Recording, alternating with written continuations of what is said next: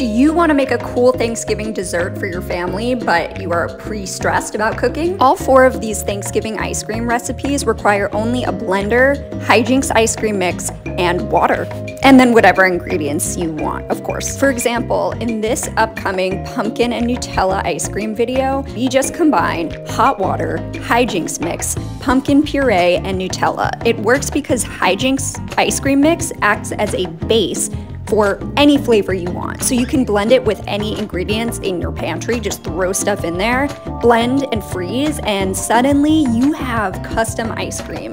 If you are overwhelmed by ice cream makers, these super easy, like three step recipes are the easiest way to make an impressive looking dessert for Thanksgiving without having to spend time near a hot oven. So, Hijinx ice cream mix, the bomb.